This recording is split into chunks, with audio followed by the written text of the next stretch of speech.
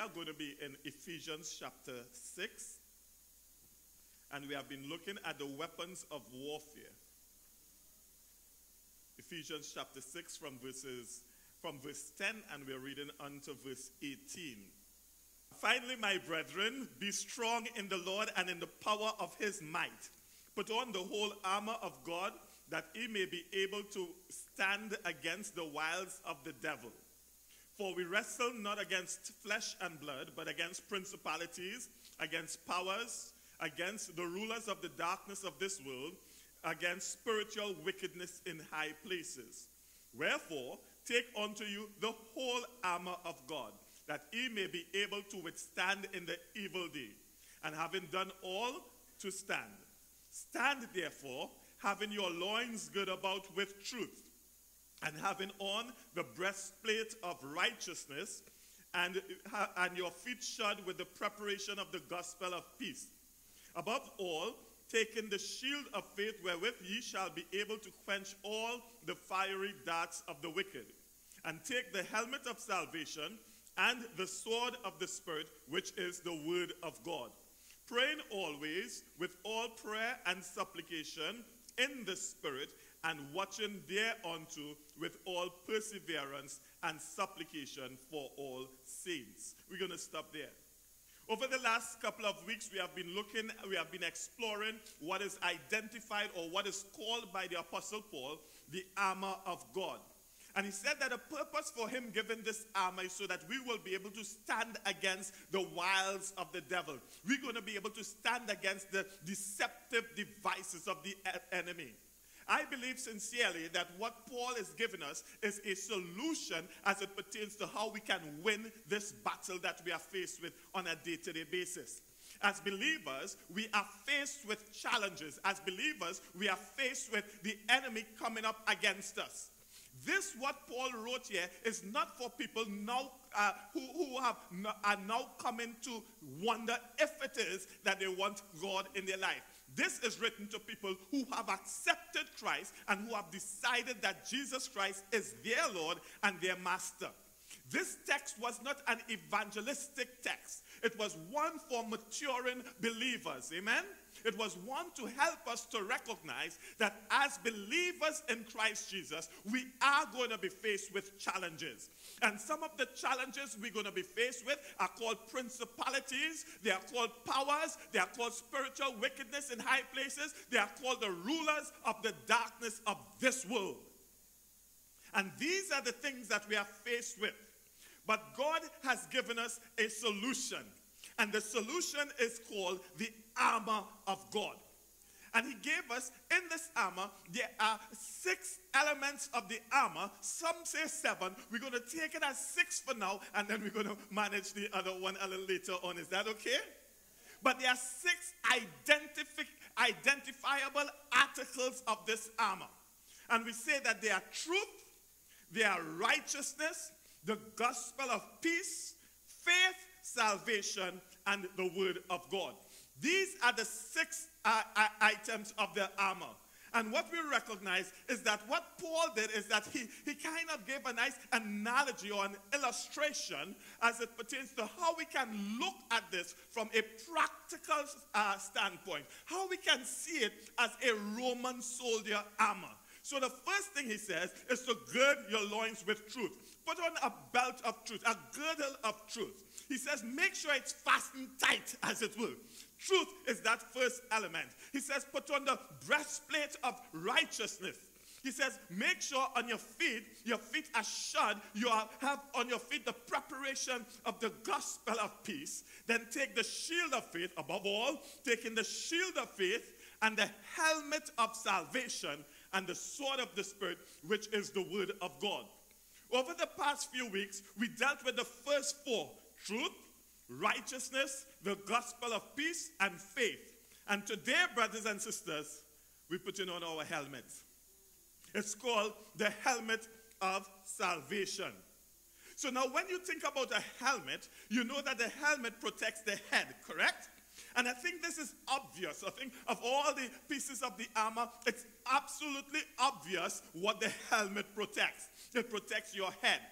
And this helmet, as pictured by Paul, was, uh, of course, the, the picture we have is a, is a Roman soldier. And his helmet was made of a thick type of leather, and then there was a metal overlay um, on it, so that it would have been uh, uh, uh, padded with leather, and then there's a metal overlay. Some of them looked kind of attractive, and they had some of them had nice flower and little garlands or something like that on it.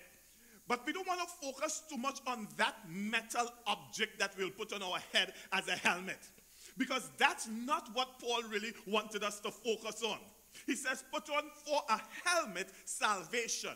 And when we talk about a helmet, we said that a helmet protects what part of the body? And in your head, you have your brain. But even more than that, the head in this context represents your mind. And he says here that the, that which is going to protect your mind is what? Come on. Salvation. He says, put on the helmet of salvation. So we want to understand what is this helmet of salvation and how can salvation protect us in terms of our mind, in terms of our thinking. When we talk about our head, our mind, we recognize, brothers and sisters, that this mind really and truly is the, is the, the seat of thought, it's the seat of reasoning. It's the place that we actually have our imaginations. This is what goes on in our mind, not so? We are thinking, we are imagining, we are perceiving things. This is what happens in our mind. And what we are saying is that there's a need for us to protect this, for us to hear this, guard our minds. Amen? So we want to see what it is that God has said can help us, or why is it necessary for us to protect our minds. Now, one of the things that the enemy tries to do, right, is to affect our minds. He tries to get into our thinking.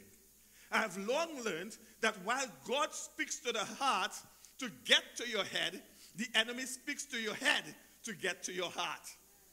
So God ministers, first of all, from your heart, and He allows you now to, to start thinking differently based on the convictions of your heart.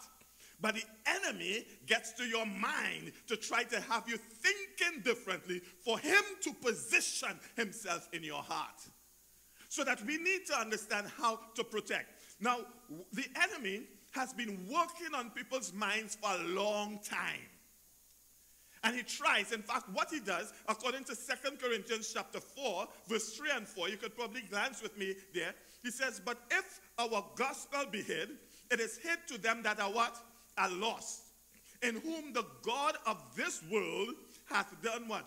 Blinded the minds of them which believe not. He blinds minds so that people will believe not. Know if you get that. So his effort is to try to cause people not to be able to think rightly of God.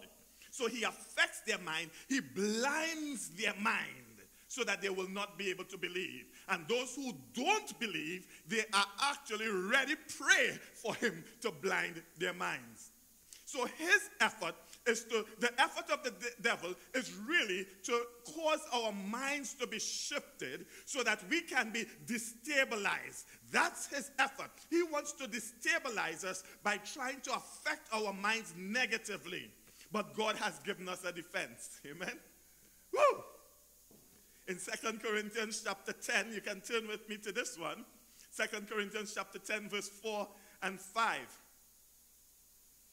Second Corinthians chapter 10. He says here, For the weapons of our warfare are not carnal, but mighty through God to the what? Pulling down of strongholds. Now, what did he say is not carnal?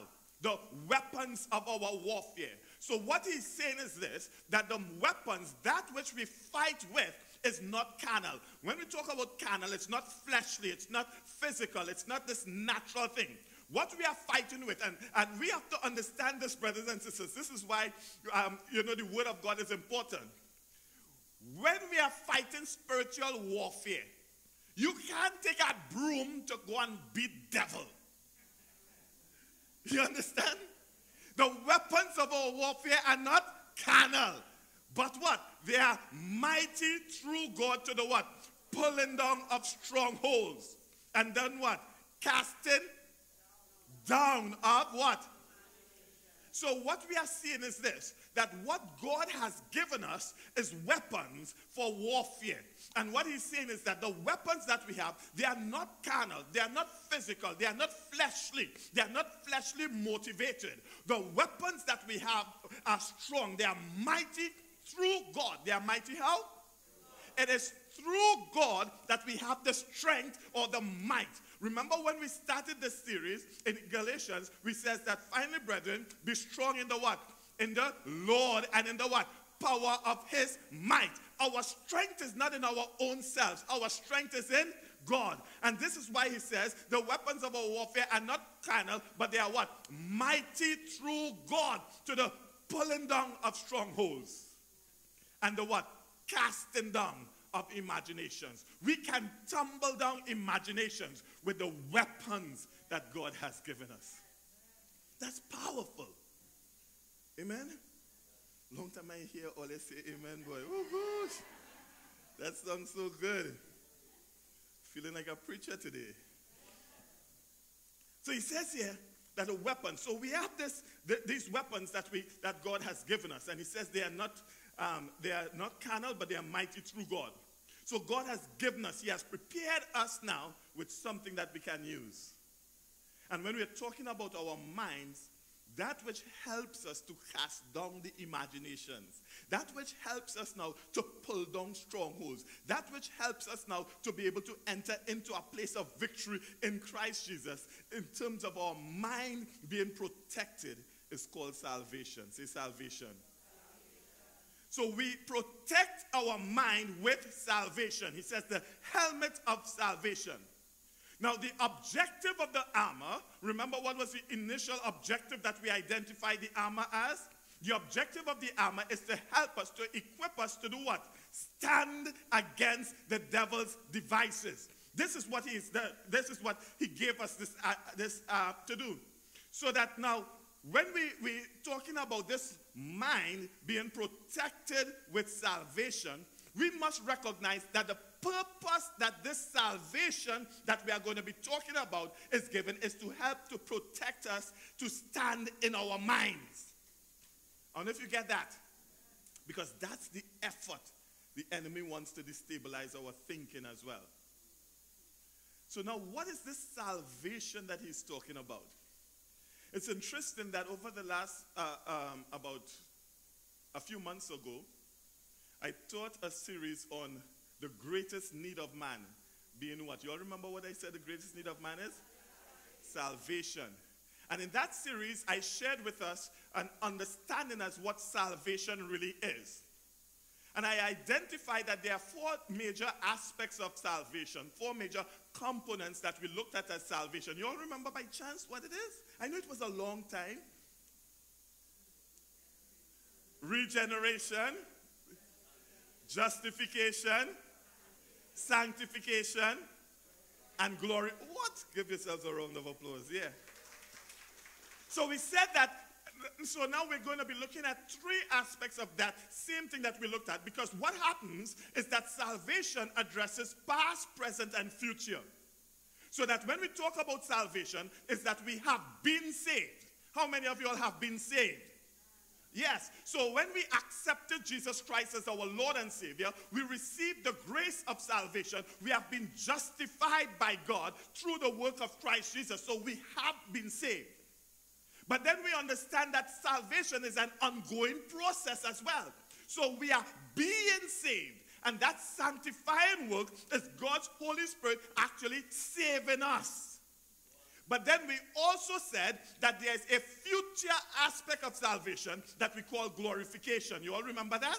And we said that at that time, we're going to be saved from the presence of sin totally and completely because God is going to glorify us. We're no longer going to be in this earthly state. We are actually going to be glorified. And this body is going to be changed. It's going to be transformed. This what the apostles say, the corruptible shall put on incorruption. And when Paul is talking about here now, this, this perspective of the helmet of salvation, it is not the past tense salvation that he's talking about. It's not even the present tense salvation. Let's go to a, passage to help us to understand this a little more. Turn with me to First Thessalonians.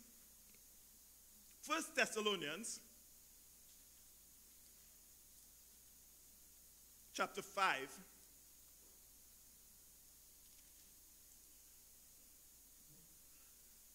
Say, God help the preacher. First Thessalonians chapter 5, verse 8. What does it say? Read it with me, please. But let us who are of the day be what? Sober, putting on the breastplate of faith and love, and for an helmet, the what? For a helmet, the what? For a helmet, the what? Hope of salvation. So when we are talking about the helmet of salvation, it is not just for us being saved. Because in fact, as I said before, what Paul is doing, he's writing to people who are already saved. So it's not for us to now go and look for salvation. It is that we have already been saved, but there's a future hope of salvation that we are looking towards.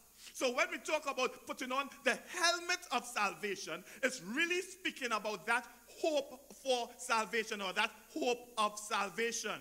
And this is an important part of our faith, brothers and sisters, because part of our of us, um, in fact, a very essential aspect of our faith is hope. Do you know that? What is the definition you know of faith? Anybody can tell me? Shout it out. Hebrews chapter 11, verse 1. Faith is what? Of things what? Of things what? So faith is the substance of things hoped for. So that if there's no hope in, then there's no faith in. is, that, is that correct? I know we have a few teachers here. If there's no hope, then there's no faith because faith is the substance of things that is hoped for. And what we are hoping for is that eternal glory that God has promised us. So that what we are looking forward to, brothers and sisters, that need to guard our mind is this assurance of that eternal glory.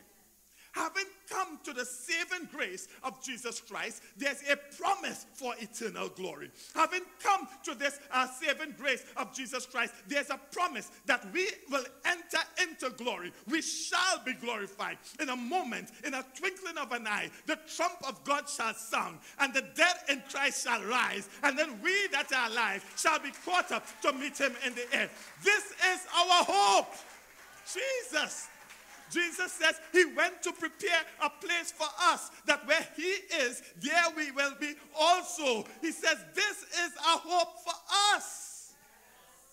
So when we talk about the helmet of salvation, it's this assurance, brothers and sisters, in our future hope.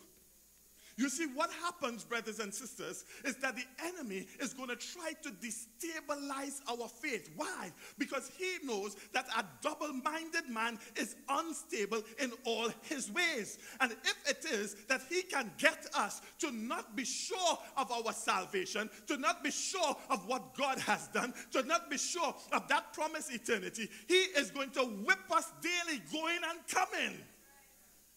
Because you know what? He's going to get us to fall. Because if you know, hear this. If you know that the devil is already defeated and that your place is secure in heaven, all these things that we're going through here, we're going to realize that all things work together for what? Good to whom? Them that love God and they that are the called according to his purpose. So that even though I go through a little stress, I know one day that's going to stop. I know even though I may face uh, trials and somebody may knock me down, I'm not out. The other day, my wife was watching um, the Rocky Balboa. And he get knocked down, boop, boop, boop, boop, but he was not out. You understand what I'm saying? And we had to have that kind of rocky faith.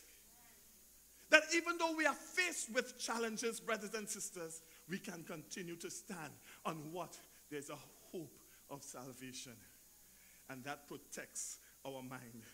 When we talk about hope, brothers and sisters, where hope is defined as that favorable, confident expectation. Expectation, trust, confidence, desire, anticipation. in this context that we are speaking of, the joy and confident expectation of eternal salvation. We have this expectation, and it creates a joy in us that one day we will see the Lord. The, uh, you know, the Apostle Paul continues in 1 Corinthians chapter 15, verse 19. He says, If in this life only we have hope, we are of all men most miserable. You know what that means? It simply means that our hope is not just in this life alone. You know, some people talk about, you know, the material things and these physical things and all these things. If that's all we are hoping for, we just like the other people. In fact, we're more miserable than the other people. You ever see some grumpy Christians? Oh my gosh, I hate to see a grumpy Christian. I got baptized somewhat since 1994. You could do the maths. and when they baptized me, they didn't baptize me in lemon juice. You understand? It's not lime juice they dipped me in. I don't know why some Christians always so sour.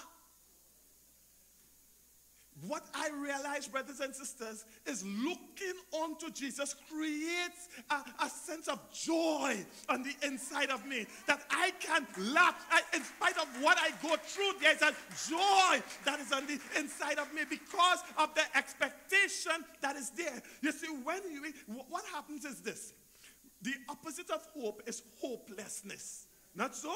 It creates despair. It creates depression. So that when an individual is not uh, walking in that hope, then you find within them that there's a lot of despair and they're depressed. And you know what? They rub it off on you. There are some people you pass by them and spiritually it's like lagly. They just grip you and you, you, like. And what we had to do is to recognize that the hope that we have in Christ Jesus keeps our focus on something more than just this life. If this is all we have, we're miserable. And some people say you're miserable with what you have. But guess what? I tell people, hear this now. You see the suffering of this world? It cannot compare with the joy that is to come. You understand? So we have hope, brothers and sisters. And we must be able to recognize that this work that God is doing is bringing us into a greater hope. Turn with me to Ephesians chapter, chapter 2, verse 11 to 13. Ephesians 2, 11 to 13. He says here, Wherefore, remember that ye being in times past Gentiles in the flesh, who are called uncircumcised by that, that which is called the circumcision in the flesh, made by hands, that at that time ye were what? Without Christ, being aliens from the commonwealth of Israel, and strangers from the covenant of promise, having no hope and without God in the world. But, underline that word, circle that word, but now in Christ, Jesus, uh, but now in Christ Jesus, he who sometimes were, were far off are made nigh by the what? By the blood of Jesus, of Christ. He's saying here in times past, there were three withouts that you had. You were without Christ, you were without hope, and you were without God in this world. That is a classic case of hopelessness. You don't have Christ, you don't have hope, and you don't have God while you're in this world. That is pressure. That is what they call more pressure. You understand what I'm saying to us? So, what we have to realize is that if it is that we are without Christ, we are without hope. If you're without God, you're without hope. We have the only form, the only way that we can have genuine hope is if we keep our focus on understanding that we are in Christ. We are no longer outside of Christ. And once you are in Christ and you have God, then you have hope. And this is where this message of the helmet of salvation comes in, in that we must know of our assurance. We must understand our assurance in Christ Jesus to give us that eternal hope. Because it's only when you don't have Christ, you don't have hope. Because our eternal salvation is based on our relationship with Christ. And this is why we have to be in Christ. And who um, the apostle was writing to were people who were already in Christ. Look what he says in, uh, look what the apostle John says, 1 John chapter 5, verse 10 to 13.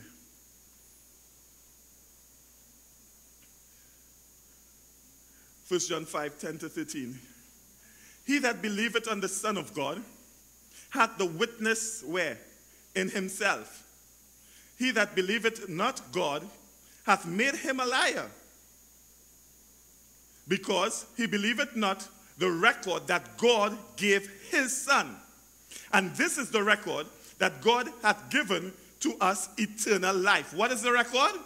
God has given us eternal life, and this life is in his Son. And he that hath the Son hath what? Life. He that hath not the Son hath not life. These things have I written unto you that believe on the name of the Son of God. Underline the next part of it. That you may know that he have what? Eternal life. And that you may believe on the name of the Son of God. So he is writing this so that you will know that you will what? That you have eternal life. This is the hope that we have. This is the expectation. This is the anticipation that because of God's love for us, we who have accepted Jesus Christ as our personal Lord and Savior have eternal life. I want to tell you a bit about eternal life. Just permit me a, a, a minute or two on this. Eternal life is something that began now. Ooh. You didn't get that? Because what happens is this because we have eternal life, we shall never die. But we will pass from this life onto life. I wonder if you get what I'm saying. This is the hope that we have. Because we have accepted Christ as our Lord, we, the eternal life begins now. When we spoke about regeneration, we have been regenerated. We have come alive so that you are alive now. The spirit that is on the inside of you came alive by the power of the Spirit of God. And because you are alive spiritually, when you die physically, you just translate from this life onto a next life. I wonder if you get what I'm saying to us. That it is a promotion that you get. This is why we call it glorification. So that you, as a believer, you move now into glory. Jesus. My God. So that this eternal life, this is the promise that we have. So our effort is so that we can know. So that we can what? You see why this is important? Because what the enemy does, he creates imaginations in our mind that you'll go to hell that you have been condemned, that you are going to be um, cast out. He creates these imaginations in our mind. And what we have to understand, brothers and sisters, is that we must have this security in our hearts and our minds so that we don't be destabilized and be tossed to and fro with every wind of doctrine. Because people don't understand their salvation, they run to this church, they run to this religion, they run to all of these places because of the fact that they have not yet understood their experience with God or their receiving God really and truly is bringing them into that place of eternity. Over the last couple of weeks, I've heard about several ministers. Somebody shared a chat, uh, a text with several ministers who were preaching the gospel and they fall away and they abandon the faith.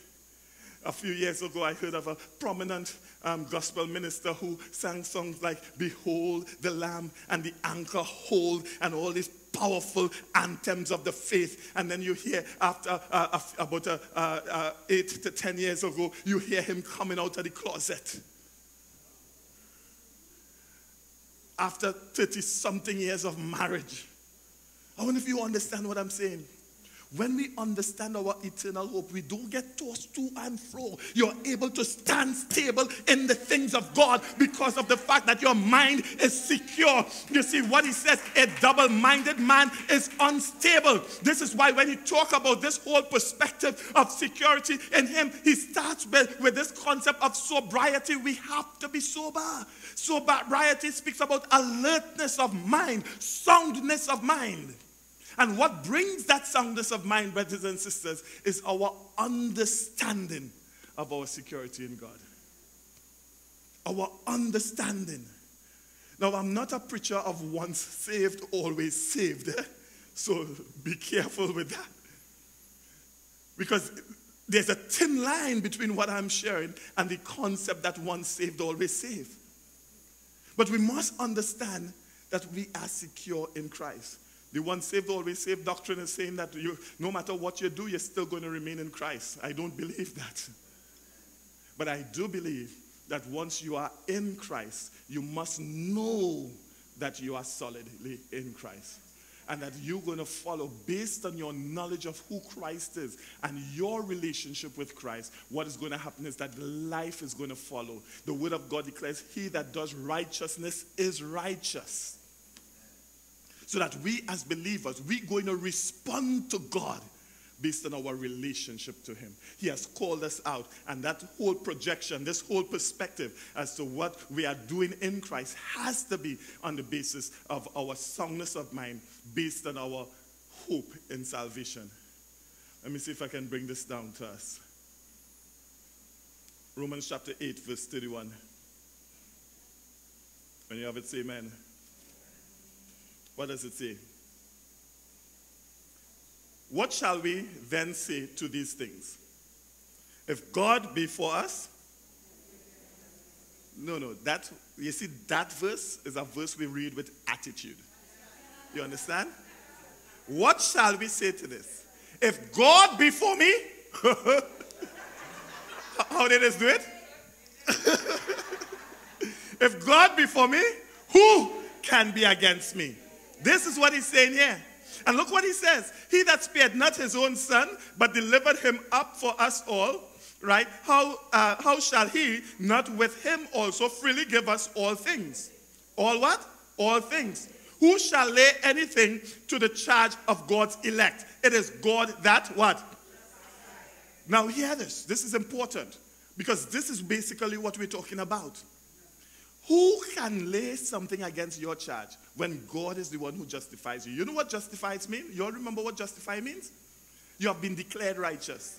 So now who can come and tell you that you're not righteous when God already tell you you're righteous?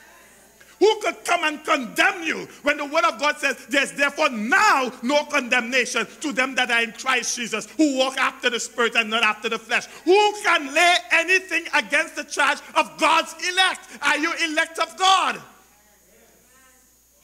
Well, that's the next question. The election is a very important concept of salvation. It talks about God actually preordaining or predestining those persons who will be saved. And we now respond to that call. When God says to you, I want you, you respond. You ain't running the next way and running the next way. You respond to God. And that response, brothers and sisters, bring us, it ushers us into this place whereby we now stand in the courtroom and he says, not guilty. Why not guilty? Because of the things that you have done? Because of your good looks? Because of your good works? Because of the law that you have done? No, not guilty. Because my son paid the price for him already. That is why we are determined not guilty. So that you have been justified. So the righteousness that was on Christ is now placed on you. So now who can come and tell you that you're not making it? Who can come and tell you that you are not good? Who can come and tell you that you are unrighteous? Who can come and tell you anything? The devil is an accuser of the brethren. So this is why we need to have our helmet of salvation because of the fact that when he comes and accuses you, you can reflect to the fact that, hey, I am saved and I know that I am. You understand? When he comes to accuse you, you can stand and remind him about what Revelation say that I will make it. And he, there's a place for you, you know. There's a place. Tell him that there's a place for him. You see, when we talk about all this, what God does, and people talk about why is God allowed this and why here, God already know what the end is going to be. You understand? From the time Adam sinned, God already made provision. So those things that really and truly all that happens in between this is just God allowing the enemy to have his way or whatever. But it, it is already determined that he shall, the devil, the antichrist, the false prophet, hell, and the grave, all have a place in the lake of fire. Every single one. And those who follow them. So who shall lay anything against the church of God's elect? Mm-mm. Who is it that condemned it? It is Christ that died, yea, rather is risen again. Who is even at the right hand of God, who also maketh intercession for us. Look at this next part. I like this. Read it for me, verse 35. Anybody qualified to separate me from the love of my Christ? Anybody qualified? Who shall separate me from the love of Christ? Shall, hear it? Shall tribulation or what? Or distress or persecution or famine or nakedness or peril or sword? As it is written, for thy sake we are killed, we are killed all the day long and we are counted as sheep for the slaughter. But nay, in all things we are through what? Not in our own strength. We are more than conquerors through him that what? Loved us. For I am persuaded. Look at it. For I am what? I am convinced. I am persuaded that what? Come on, hear me. I am persuaded. Shout it out that neither no, no, no, no, no, no, no, no, no, shall be able to separate us from the love of God which is in Christ Jesus. Remember, when we're talking about this armor that God has equipped us to fight against principalities and powers and spiritual wickedness in high places and rulers of the darkness of this world. He is saying that none of these things can separate me. Why? Because I am secure in God. He said we must know this. So that this assurance that we have, brothers and sisters, is that even though things may come against us, these things that come against us cannot separate me from the love of my God. Turn with me to John. I think this might be my last scripture. God help us. You want me to locked up?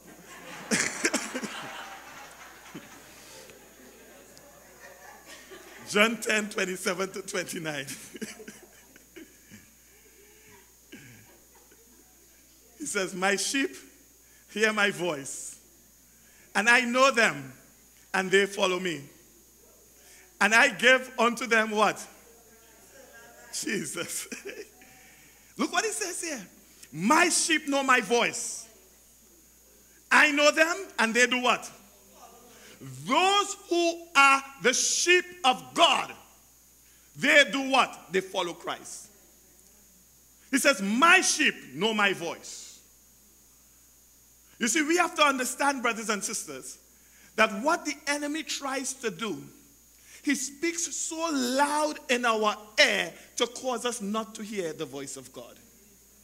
To cause us not to hear that warmness of the Father's voice that says to us, You are my child.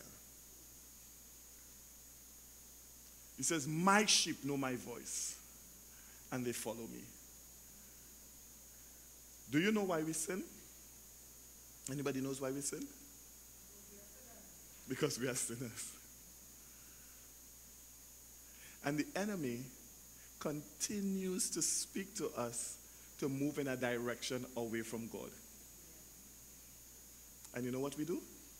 We obey that voice. we obey that voice.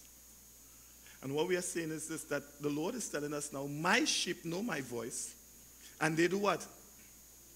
Follow me. And look what I'm doing. I give unto them what? Eternal life. And look what he says here. And they shall what? Jesus. What's that? They shall never perish. Neither shall any man My Father, which gave them me, is greater than all, and no man is able to do what? Pluck them out of my Father's hand. You see, when you are in the hand of God, brothers and sisters, no devil in hell could come and take you out. I wonder if you understand what I'm saying to us. So that we must understand that when we are in Christ, we are secure. When we are in Christ, we are in the Father's hand.